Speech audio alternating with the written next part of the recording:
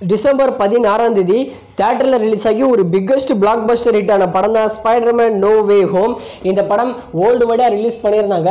இது வரைக்கும் one point eight billion கிட்ட கலெக்ஷன் பண்ணியிருந்தது இந்த ஸ்பைடர்மேன் நோ வே ஹோம் இந்தியாவில் மட்டுமே ஒரு இரநூத்தறுபது கோடி கிட்ட கலெக்ஷன் பண்ணியிருந்தது.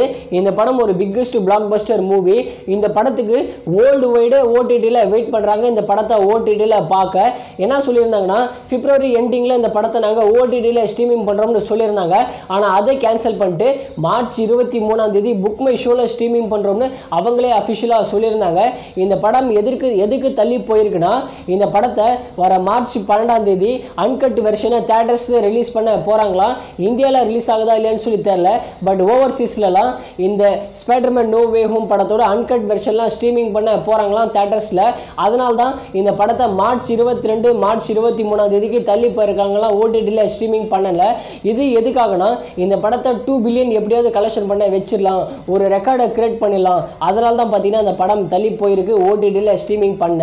இந்த படம் வர மார்ச் இருபத்தி மூணாம் தேதி புக் மை ஷோவில் தமிழ் தெலுங்கு மலையாளம் ஹிந்தி கன்னடம் சொல்லி அஞ்சு லாங்குவேஜ்லையும் ஸ்ட்ரீமிங் பண்ண போகிறாங்க யார் யாரெல்லாம் அந்த படத்தை ஓடிடியில் பார்க்க ஈகராக வெயிட் பண்ணுறீங்களோ ஒரு ஒரு மாதம் வெயிட் பண்ணுங்கள் அடுத்த மாதம் உங்களுக்கு இந்த படம் புக் மை ஷோவில் ஓடிடியில் ஸ்ட்ரீமிங் பண்ணுவாங்க.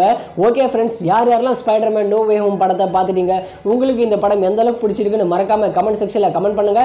இந்த மாதிரி சினிமா அப்டேட்ஸ் தெரிஞ்சுக்க சப்ஸ்கிரைப் பண்ணுங்க. சினிமா ரசிகன் சேனலுக்கு